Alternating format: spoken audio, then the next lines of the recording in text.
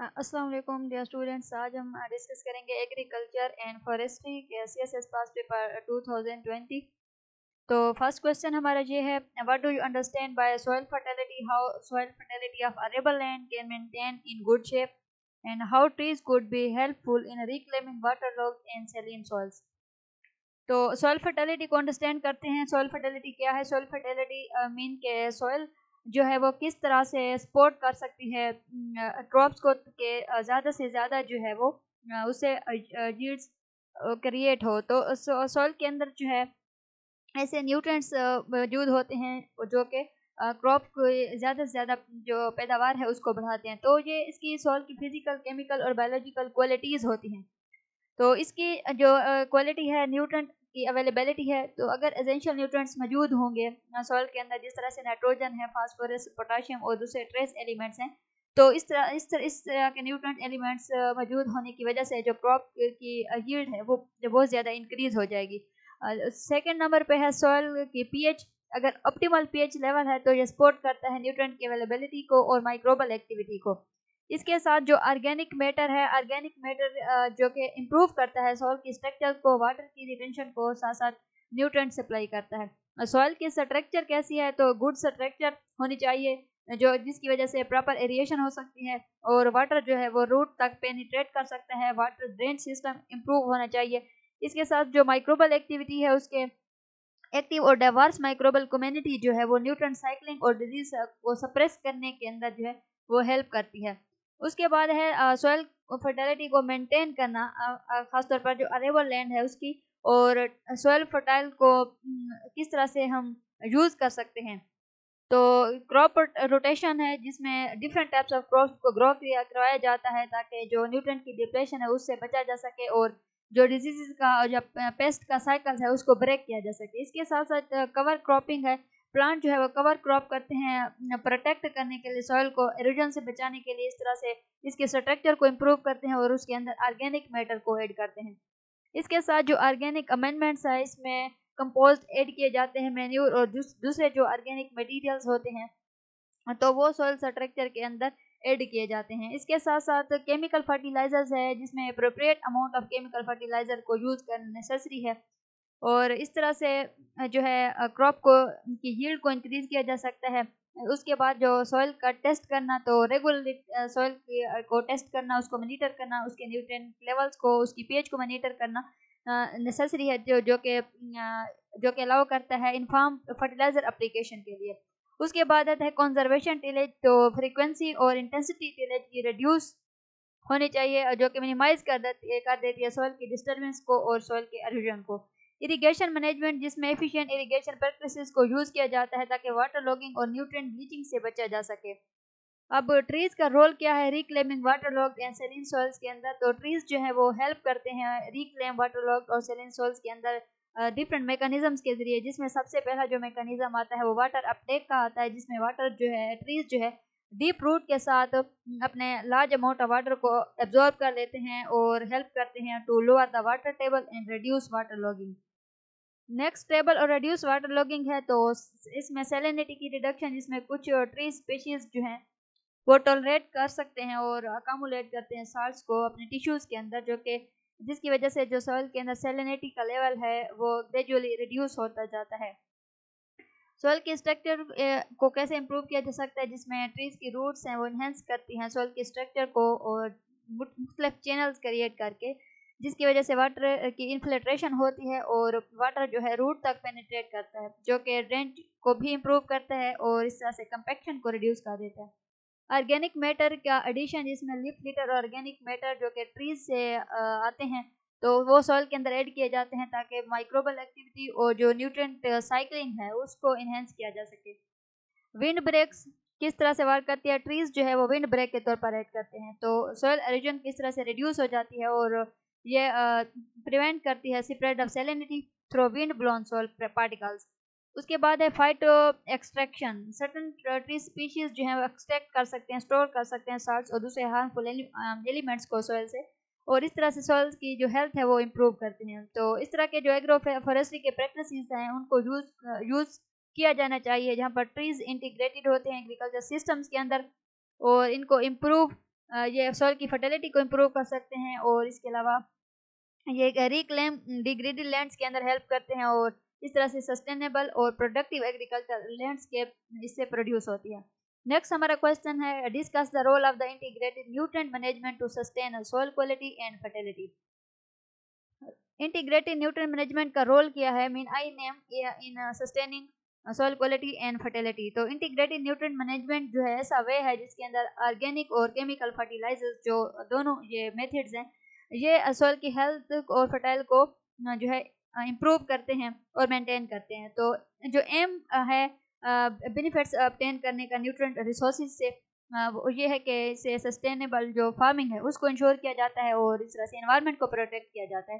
तो इसके मेथड के जो की पार्ट्स हैं जो इसके अंदर इंक्लूड है उसको देखते हैं, जिसमें ऑर्गेनिक सोर्सेज आ जाता है, जिसमें मेन्यूर कंपोज और ग्रीन मेन्यूज क्रॉप रेजिड्यूज जैसे ऑर्गेनिक मटेरियल्स को जो है यूज़ किया जाता है, जो कि सोल ऑर्गेनिक मैटर को इम्प्रूव करते हैं माइक्रोबल एक्टिविटी को बूस्ट करते हैं और इस तरह से slow slow release nutrients provide करते हैं। इसके बाद इन ऑर्गेनिक फर्टिलाइज़र है आईएनएम के अंदर सेकेंड सोर्स तो केमिकल फर्टिलाइजर्स जो है यूज़ किए जाते हैं एजेंशियल न्यूट्रेंट सप्लाई करने के लिए प्लांट्स को, जो कि क्विकली प्लांट्स इनको अब्जॉर्ब भी कर लेते हैं और इस तरह से वो अपनी जो ज़रूरियात होती हैं उसको पूरा करते हैं। तो बायो फर्टिलाइजर्स है नेक्स्ट माइक्रो ऑर्गेनिज्म जो हैं, जो कि फिक्स करते हैं नाइट्रो एटमॉस्फेरिक नाइट्रोजन को तो उन माइक्रो ऑर्गेनिजम्स को यूज़ किया जाता है, जो कि स्लोबलाइज करते हैं फास्फोरस को और प्रमोट करते हैं प्लांट ग्रोथ को, इसके साथ साथ इन्हेंस करते हैं न्यूट्रेंट की अवेलेबिलिटी और अपटेक को। सॉयल अमेंडमेंट्स क्या है, जिसमें मटेरियल्स को ऐड किया जाता है, जिस तरह से लाइम है या जिप्सम है तो ये सॉयल की पीएच को करेक्ट करते हैं और सॉयल के स्ट्रक्चर को इम्प्रूव करते हैं। तो इस, इनकी वजह से न्यूट्रेंट की अवेलेबिलिटी न्यूट्रेंट का अपटेक जो है वो इंक्रीज हो जाता है। अब इस सिस्टम इस मेथड के बेनिफिट्स क्या हैं? तो ये सॉइल के स्ट्रक्चर को हेल्थ को इम्प्रूव करता है, जिसमें ऑर्गेनिक मटेरियल्स जो हैं, वो सॉइल ऑर्गेनिक मैटर को इंक्रीज करते हैं और सॉइल के स्ट्रक्चर को इम्प्रूव करते हैं वाटर रिटेंशन के सिस्टम को इम्प्रूव करते हैं एरिएशन का सिस्टम जो प्लांट के इर्द होता है और इस तरह से एक गुड इन्वायरमेंट क्रिएट कर देते हैं रूट्स के लिए और माइक्रोब्स के लिए। इनहेंस न्यूट्रन साइकिलिंग जिसमें ऑर्गेनिक और केमिकल सोर्सेज को कंबाइन किया जाता है, जो कि एफिशिएंट न्यूट्रन साइकिलिंग को प्रमोट करते हैं सॉइल के अंदर। इस तरह से जो न्यू न्यूट्रन का लॉस है, वो रिड्यूस हो जाता है। बैलेंस न्यूट्रन सप्लाई किया है आईएनएम जो है इंश्योर करता है स्टेडी सप्लाई ऑफ़ न्यूट्रंस को throughout the crop growth health growth cycle so preventing deficiencies and toxicities increase microbial activity organic inputs जो है वो स्टिमुलेट करते हैं सोल माइक्रोब्स को, जो कि इंपॉर्टेंट है न्यूट्रिएंट मिनरलाइजेशन और अवेलेबिलिटी टू प्लांट्स उसके बाद आता है रिड्यूस्ड इन्वायरमेंटल इम्पैक्ट तो ऑप्टिमाइजिंग फर्टिलाइज़र जो है वो इसको यूज़ करना, ये मिनिमाइज करती है न्यूट्रन रनअप को और लीचिंग को। तो इस तरह से जो इन्वायरमेंटल पोल्यूशन का रिस्क है, वो रिड्यूस हो जाता है। सस्टेनेबल क्रॉप प्रोडक्शन क्या है, जिसमें आई के प्रैक्टिस जो है वो इन्हेंस करती है लॉन्ग टर्म सॉइल फर्टिलिटी को। और इस तरह से जो है ये सस्टेनेबल क्रॉप प्रोडक्शन और बेटर यील्ड प्रोड्यूस होती है। तो इस आईएनएम के इम्प्लीमेंट के जो सेट स्ट्रेटजीज हैं, वो क्या हैं कि किस तरह से आईएनएम मेथड को इम्प्लीमेंट किया जाए, किया जा सकता है? तो सॉइल की टेस्टिंग और एनालिसिस ज़रूरी है। तो सॉइल की जो रेगुलरली टेस्टिंग करना डिटरमाइन करने के लिए न्यूट्रेंट का स्टेटस और टेलर फर्टिलाइज़र अप्लीकेशन जो कि सॉइल की नीड्स की बेस पर होती हैं। क्रॉप रोटेशन और डाइवर्सिफिकेशन इसमें प्रैक्टिस की जाती है क्रॉप रोटेशन की और जिसमें लेग्यूम जो है इंक्लूड है कि क्रॉप तो ये जो लेग्यूम की क्रॉप है, ये इन्हेंस करती है सॉइल की फर्टिलिटी को बायोलॉजिकल नाइट्रोजन फिक्सेशन के प्रोसेस के ज़रिए। उसके बाद है कवर क्रॉप्स का यूज़ करना। कवर क्रॉप जो है प्लांट इनको यूज़ करते हैं अपने फेलो पीरियड्स के दौरान, ताकि सोयल एरोजन से वो बच सकें और सोयल की स्ट्रक्चर को इम्प्रूव करते हैं। इसके अंदर ऑर्गेनिक मैटर को ऐड करते हैं।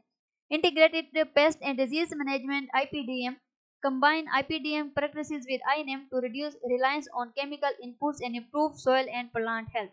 ठीक है? अगर I P D M practice को आई एन एम मेथड्स के साथ कंबाइन कर लिया जाता है तो इस तरह से जो केमिकल इनपुट्स के ऊपर डिपेंडेंसी है, वो रिड्यूस हो जाएगी और सॉइल की हेल्थ भी इम्प्रूव होगी प्लांट की हेल्थ भी इम्प्रूव होगी। उसके बाद है एफिशिएंट फर्टिलाइज़र एप्लीकेशन जिसमें प्रिसाइजन एग्रीकल्चर टेक्निक्स को यूज़ किया जाता है। फर्टिलाइजर्स एफिशिएंटली अप्लाई करने के लिए। सो so, उसके बाद है न्यूट्रेंट सप्लाई को मैच किया जाता है जितनी भी क्रॉप की डिमांड होती है उसके साथ। तो इंटीग्रेटेड न्यूट्रेंट मैनेजमेंट जो एक सस्टेनेबल अप्रोच है जो कि ऑप्टिमाइज करता है तमाम अवेलेबल न्यूट्रेंट के तमाम जो अवेलेबल न्यूट्रेंट सोर्सेज हैं उनके यूज़ को वो मेंटेन करता है और सोल की क्वालिटी को फर्टिलिटी को इन्हेंस करता है। सो so, इस तरह से जो केमिकल ऑर्गेनिक और बायोलॉजिकल इनपुट्स हैं इनको बैलेंस करके आईएनएम जो है वो प्रमोट करता है हेल्दी सॉइल्स को सस्टेनेबल क्रॉप प्रोडक्शन को और इन्वायरमेंटल को। उसके बाद है नेक्स्ट क्वेश्चन है हमारा फ़ूड सिक्योरिटी फ़ूड सेफ्टी और क्लाइमेट चेंज जो है वो मेन चैलेंजेस है नेशनल लेवल के ऊपर। तो वो वो कौन से डिफरेंट फैक्टर्स हैं जो कि इन इश्यूज़ के साथ जुड़े हैं और हम उनको कैसे टैकल कर सकते हैं। तो चैलेंजेस जो नेशनल लेवल के ऊपर फ़ूड सिक्योरिटी फ़ूड सेफ्टी और क्लाइमेट चेंज को हैं तो उनको हम एड्रेस करने के लिए क्या क्या स्टेप्स लेंगे?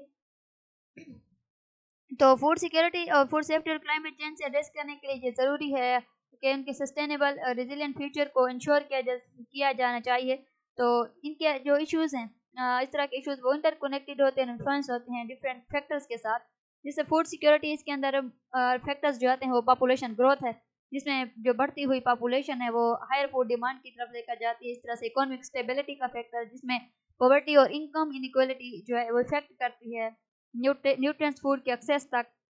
नेक्स्ट जो फैक्टर है वो एग्रीकल्चर प्रोडक्टिविटी का है, जिसमें लिमिटेड एक्सेस जो है, उन फ़ार्मिंग टेक्निक्स तक जो कि खासतौर पर स्मॉल स्केल फार्मर्स के लिए इस तरह के टेक्निक्स तक पहुँचना डिफ़िकल्ट होता है उनको तो वो क्वालिटी सीड्स यूज़ नहीं कर सकते। तो एक गुड फर्टिलाइज़र यूज़ नहीं कर सकते। तो इस तरह से उनकी जो क्रॉप की यील्डिंग है वो उसके अंदर रुकावट पैदा होती है। नेक्स्ट वाटर के रिसोर्सेज हैं, जिसमें मिस मैनेजमेंट वाटर की और सिकस्टी के जो रिसोर्स रिसोर्सेज हैं वाटर रिसोर्सेज की मैनेज मिस मैनेजमेंट जो है सिकस्टी तो ये इम्पेक्ट करती है इरीगेशन और फ़ूड प्रोडक्शन के ऊपर। इंफ्रास्ट्रक्चर पुअर इंफ्रास्ट्रक्चर जो है इफ़ेक्ट करता है फ़ूड की डिस्ट्रीब्यूशन और मार्केट एक्सेस के ऊपर। पॉलिटिकल स्टेबिलिटी ये भी नेसेसरी है, जिसमें कन्फ्लिक्ट और पॉलिटिकल इंस्टेबिलिटी जो है वो फ़ूड की प्रोडक्शन को जो है डिस्टर्ब कर देती है और सप्लाई चेन इससे डिस्टर्ब हो जाती है। इसके साथ साथ क्लाइमेट चेंज है, जिसमें एक्सट्रीम वेदर इवेंट्स जो है, वो प्रेसिपिटेशन पैटर्न्स को चेंज करते हैं। टेम्परेचर को, जो बढ़ता हुआ टेम्परेचर है, जो कि नेगेटिव इम्पैक्ट करता है एग्रीकल्चर सिस्टम्स के ऊपर तो इसको भी रिड्यूस किया जाना नेक्स्ट है जो फ़ूड की सिक्योरिटी है तो इसकी कैसी स्ट्रेटजीज हम यूज़ कर सकते हैं? फ़ूड सिक्योरिटी को इंश्योर करने के लिए सस्टेनेबल एग्रीकल्चर, जिसमें सस्टेनेबल फ़ार्मिंग प्रैक्टिसेस को प्रमोट किया जाना चाहिए, जिसके अंदर क्रॉप डाइवर्सिफिकेशन है एग्रो फॉरेस्ट्री और ऑर्गेनिक फ़ार्मिंग है। टेक्नोलॉजिकल इनोवेशन, जिसमें एग्रीकल्चर, रिसर्च और डेवलपमेंट के अंदर इन्वेस्टमेंट नेसेसरी है, ताकि क्रॉप की जील्स को इम्प्रूव किया जा सके। इरिगेशन और वाटर की मैनेजमेंट है, जिसमें एफिशिएंट इरिगेशन सिस्टम्स डेवलप किया जाता है वाटर की कंजर्वेशन टेक्निक्स को यूज़ किया जाता है। इंफ्रास्ट्रक्चर की डेवलपमेंट है तो रूरल इंफ्रास्ट्रक्चर की इंप्रूवमेंट जो है, जिसमें रोड्स हैं स्टोरेज फैसिलिटीज़ हैं मार्केट एक्सेस है, इनकी डेवलपमेंट ज़रूरी है। सोशल सेफ्टी नेट्स जिसमें इम्प्लीमेंट करना फ़ूड असिस्टेंट प्रोग्राम्स को सोशल सेफ्टी नेट्स जो कि वनरेबल पॉपुलेशन को जो है, वो सपोर्ट करता है। इसके साथ जो फैक्टर्स हैं ग्रीन हाउस गैस इमिशंस का, जिस तरह से एग्रीकल्चर इंडस्ट्री से, या जो इमिशंस हैं, वो रिलीज़ होती हैं ट्रांसपोर्टेशन कर तो जो है वो कंट्रीब्यूट करते हैं ग्लोबल वार्मिंग के अंदर। इसके साथ साथ डिफोस्टेशन है। ये नेगेटिव इम्पैक्ट डालता है फॉरेस्ट की क्लियरिंग एग्रीकल्चर के लिए या दूसरे जो पर्पजेज होते हैं। तो ये क्लाइमेट चेंज के अंदर इफ़ेक्ट जो है अपना एक कंट्रीब्यूशन कर रहा है। उसके साथ साथ लैंड यूज़ चेंजेस हैं जिसमें लैंड यूज़ के अंदर चेंजेस जिस तरह से अर्बनाइजेशन है या एग्रीकल्चर एक्सपेंशन है तो ये कार्बन की सिक्वेस्ट्रेशन और इकोसिस्टम्स के ऊपर नेगेटिव इम्पैक्ट डाल रहा है। इसके साथ एनर्जी की कंजम्पशन है तो हाई एनर्जी कंजम्पशन और जो फसल्स के ऊपर रिलायंस है डिपेंडेंसी है, वो भी क्लाइमेट चेंज के ऊपर में कंट्रीब्यूट करता है। उसके बाद वेस्ट मैनेजमेंट है तो पुअर वेस्ट मैनेजमेंट प्रैक्टिस जिसके अंदर फ़ूड वेस्ट है, वो कंट्रीब्यूट करता है ग्रीन हाउस गैस इमिशन के अंदर। अब क्लाइमेट चेंज की ऐसी कौन सी स्ट्रेटजीज हैं, जिसको हम अपना कर क्लाइमेट चेंज को से बचा सकते हैं? अपने इन्वायरमेंट को तो रिन्यूएबल एनर्जी है, जिसमें transition to renewable energy sources जिसके अंदर सोलर विंड और बायो एनर्जी आती है। सस्टेनेबल एग्रीकल्चर से इनको प्रमोट करके जिनके क्लाइमेट स्मार्ट एग्रीकल्चर प्रैक्टिसेस को प्रमोट किया जाना चाहिए क्योंकि ये रिलीज़ जो रेजिलियंस है और मिशंस है उसको रिड्यूस कर देता है। इसके साथ साथ एफोस्टेशन और रिफोस्टेशन है, जिसमें एफोस्टेशन और रिफोस्टेशन के प्रोग्राम्स इंप्लीमेंट किए जाने चाहिए, ताकि इकोसिस्टम्स को रिस्टोर किया जा सके। इमिशन रिडक्शन है, जिसमें पॉलिसीज़ को इम्प्लीमेंट करना ज़रूरी है, जो कि ग्रीन हाउस गैस इमिशंस को रिड्यूस कर रही हो, कर रही होती हैं तमाम सेक्टर से। वेस्ट की रिडक्शन है तो वेस्ट रिडक्शन को प्रमोट किया जाना चाहिए। इसके साथ साथ रिसाइकलिंग नेसेसरी है, ताकि इमिशंस को मिनिमाइज किया जा सके वेस्ट मैनेजमेंट से। उसके साथ साथ क्लाइमेट एजुकेशन है तो पब्लिक और पॉलिसी मेकर्स जो हैं वो एजुकेट करें क्लाइमेट चेंज के इम्पैक्ट्स के बारे में और इस तरह से जो इनकी मिटिगेशन और अडाप्टेशन मैयर्स हैं, उसकी इम्पोर्टेंस को जिनके ज़ाहिर करें, उजागर करें। इसके साथ साथ इंटरनेशनल कोऑपरेशन है तो जो इंटरनेशनल क्लाइमेट एग्रीमेंट्स के अंदर पार्टिसिपेशन है कोलाब्रेशन है, उनके साथ climate climate global climate initiatives के ऊपर तो ये स्टेप नेसेसरी है। उसके साथ साथ इंटीग्रेटेड अप्रोचेज हैं, जिस तरह के चैलेंजेस को एड्रेस करने के लिए इंटीग्रेटेड अप्रोच की ज़रूरत होती है, जो that considers the interconnection between food security food safety and climate change तो कुछ इंटीग्रेटेड स्ट्रेटजीज हैं, जिसमें रेजिलियंट एग्रीकल्चर सिस्टम्स है, जो कि डिवेलप एग्रीकल्चर सिस्टम जो है, जो कि रेजिलियंट होता है क्लाइमेट चेंज के अगेंस्ट इन्हेंस करता है फ़ूड सिक्योरिटी को इंश्योर करता है फ़ूड की सेफ्टी को। उसके साथ साथ है सस्टेनेबल प्रैक्टिसेस तो सस्टेनेबल प्रैक्टिसेस जो कि जो जो है, वो प्रमोट करता है रिड्यूस करता है इन्वायरमेंटल इम्पैक्ट को और फ़ूड की प्रोडक्शन को इन्हेंस करता है। पॉलिसी कोहरेंस इसमें इंश्योर करना है कोहरेंस को जो कि पॉलिसीज़ रिलेटेड होती हैं एग्रीकल्चर के मतलब फ़ूड सिक्योरिटी मतलब फ़ूड सेफ्टी और क्लाइमेट चेंज के मतलब होती हैं। उसके साथ साथ स्टेक होल्डर्स की एंगेजमेंट स्टेक होल्डर्स को एंगेज करना जिसके अंदर फार्मर्स इंक्लूड हैं, ये स्टेक होल्डर्स में आते हैं पॉलिसी मेकर्स हैं रिसर्चर्स हैं कंज्यूमर्स हैं तो ये जो है, इन सोल्यूशंस को डेवलप कर सकते हैं और इम्प्लीमेंट भी कर सकते हैं। तो इनकी स्ट्रेटजीज जो स्ट्रेटजीज हैं, इनको अडॉप्ट करके नेशन जो है वो टैकल कर सकते हैं इस तरह के इंटरकनेक्टेड चैलेंजेस को, जो फ़ूड सिक्योरिटी फ़ूड सेफ्टी और क्लाइमेट चेंज के हवाले से उनको होते हैं। नेक्स्ट हमारा क्वेश्चन है what is the role of the cottage industry in improving rural development and what are the major cottage industries linked to agriculture and livestock तो कॉटेज इंडस्ट्री का जो रोल है रूरल डेवलपमेंट की improvement में वो देखते हैं तो कॉटेज इंडस्ट्रीज़ जो हैं वो स्मॉल स्केल के ऊपर खास तौर पर बहुत ज़्यादा बेनिफिट्स बेनिफिशियल होती हैं, जो होम बेस्ड बिज़नेस है। ये इसके अंदर बहुत ज़्यादा सिग्निफिकेंट रोल प्ले करते हैं रूरल डेवलपमेंट में।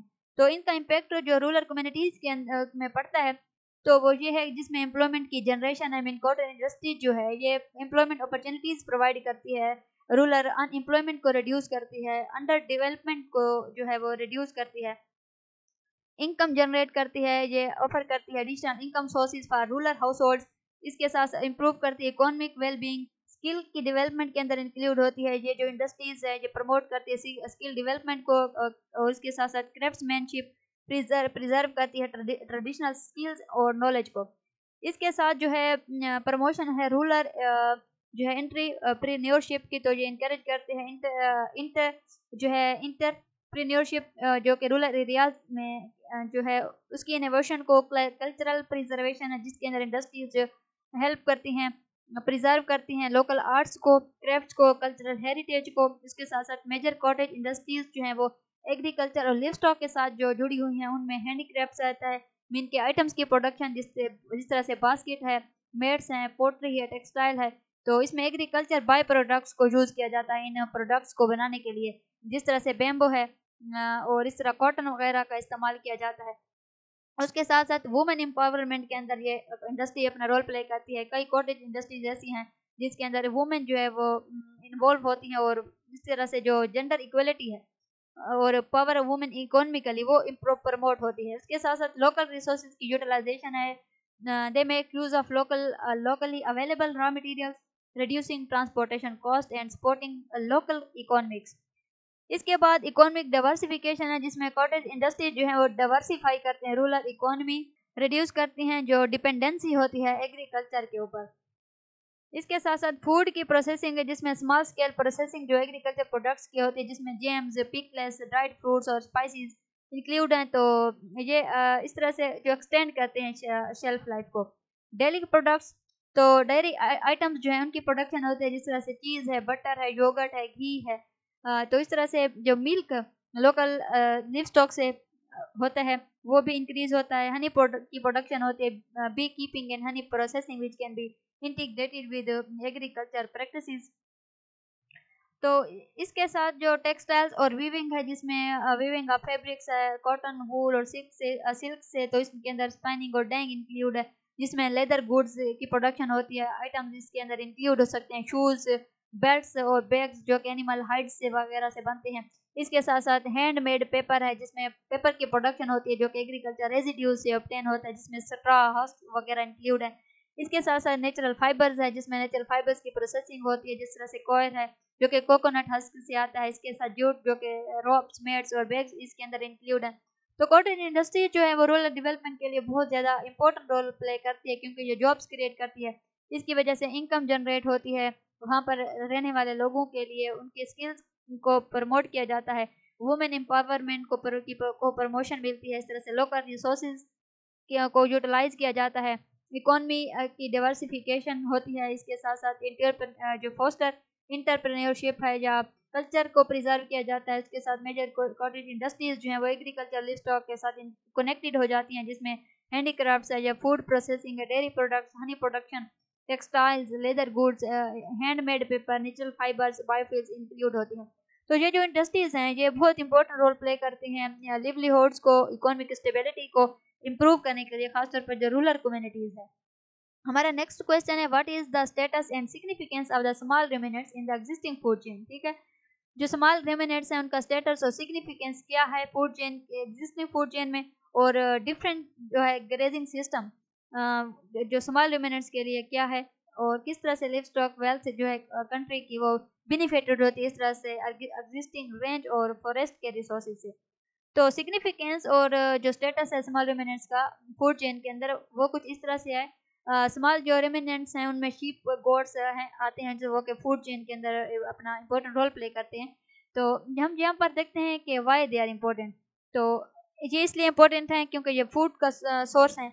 ये मीट मिल्क चीज़ इस तरह के जो फ़ूड के सोर्सेज हैं, ये प्रोवाइड करते हैं, जो कि इम्पोर्टेंट प्रोटीन के सोर्सेज हैं, इस तरह से फार्मर्स के लिए इनकम जनरेट करते हैं जिस तरह से स्टडी इनकम जो ऑफ़र करते हैं खासतौर पर स्मॉल स्केल फार्मर्स के लिए हेरिडर्स के लिए, उसके साथ अडाप्टेबिलिटी है, ये अडाप्टेबल हैं डिफरेंट इन्वायरमेंट्स के अंदर and can thrive in areas are there livestock might struggle इसके साथ साथ न्यूट्रेंट साइकिलिंग जिसमें ग्रेजिंग जो है, वो हेल्प करती है न्यूट्रेंट्स की साइकिलिंग के अंदर उन पास्टर्स के अंदर, उन एरियाज़ के अंदर जहाँ पर ग्रॉसेस वगैरह होती हैं और इस तरह के सॉइल की हेल्थ के अंदर ये कंट्रीब्यूट करती है। डिफरेंट ग्रेजिंग सिस्टम है समाल रूमिनेट्स के लिए, जहाँ पर सिविल ग्रेजिंग सिस्टम्स हैं जो समाल रूमिनेट्स के लिए यूज़ किए जाते हैं। तो हर एक अपना बेनिफिट है। कंटिन्यूस ग्रेजिंग को अगर हम देखें तो इसमें से हमारा ये है कि एनिमल जो है पर्टिकुलर एरिया के ऊपर ग्रेज कर रहे होते हैं एक्सटेंडिंग पीरियड के लिए। तो ये सिंपल है लेकिन ओवर ग्रेजिंग की तरफ़ लेकर जाता है। इसके साथ रोटेशनल ग्रेजिंग एनिमल्स जो है वो डिफरेंट पास्टर्स के दरमियान मूव करते हैं। तो इस तरह से ये अलाउ करता है पास्टर्स की रिकवरी को और इस तरह से जो ग्रास की क्वालिटी है, वो बेटर होती है, उसको मेंटेन किया जा सकता है। नेक्स्ट है स्ट्रिप ग्रेजिंग एनिमल्स जो है वो ग्रेज करते हैं पास्चर के समाल सेक्शंस के अंदर शॉर्ट टाइम के लिए before moving to the next strip this is called strip grazing so this maximise forage use and minimise waste mob grazing क्या होती है? High density grazing very short time के लिए जो है वो फॉलोड की जाती है by long recovery period so it mimics natural grazing patterns and improve soil health deferred grazing क्या होती है? इसमें पास्टर्स जो है वो रेस्टेड होती हैं during growing season and graze later तो ये भी पास्टर की क्वालिटी को प्रिजर्व करने में हेल्प करती है। अब लिव स्टॉक के बेनिफिट्स लिव स्टॉक वेल्थ के बेनिफिट्स क्या हैं? और रेंज से और फॉरेस्ट रिसोर्सेज से। तो country livestock wealth benefit significantly from existing range and forest resources इनको देखते हैं। फॉरेस्ट सप्लाई क्या है? फॉरेस्ट और रेंज लैंड जो है एक natural source of forage provide करते हैं ग्रेजिंग के लिए और रिड्यूस करते हैं जो कल्टिवेटेड फोर्डर है उसकी नीड को। उसके साथ बायोडाइवर्सिटी सपोर्ट है। ग्रेजिंग एनिमल जो है वो बायोडाइवर्सिटी को मेंटेन करने में हेल्प करते हैं। प्लांट ग्रोथ की कंट्रोलिंग से और इनक्रेज करते हैं ये प्लांट स्पीशीज की वैरायटी की ग्रोथ को। इसके साथ साथ इकोनॉमिक वैल्यू है, जिसमें ले स्टॉक जो है वो नेचुरल रिसोर्सेज के ऊपर ग्रेज करते हैं कंट्रीब्यूट करते हैं इकोनॉमी के अंदर through production of meat milk wool and other products environmental health जिसमें मैनेज किया जाता है ग्रेजिंग को जो कि हेल्प करती है इन्वेजिव स्पीशीज को कंट्रोल करने में। इसके साथ साथ वाइल्ड फायर रिस्क रिड्यूस हो जाता है और हेल्थियर इकोसिस्टम्स को प्रमोट करता है। उसके साथ जो कल्चरल इंपॉर्टेंस है, इसमें कई ऐसे रीजन हैं जिसमें ट्रेडिशनल ग्रेजिंग प्रैक्टिस एक इंटीग्रल पार्ट कंसीडर किया जाता है कल्चरल हेरिटेज का और कम्युनिटी लाइफ का। तो इस तरह के जो स्मॉल रिमेनेंट्स की इंटीग्रेशन है डावर्स ग्रेजिंग सिस्टम के अंदर यूटिलाइजिंग रेंज इन फॉरेस्ट रोसिस तो इस तरह से हम सस्टेन कर सकते हैं लिस्ट ऑफ़ हेल्थ को और इस तरह से इन्वायरमेंट को इम्प्रूव किया जा सकता है, जो कि रूरल इकोनॉमिक्स को जो है वो सपोर्ट करता है।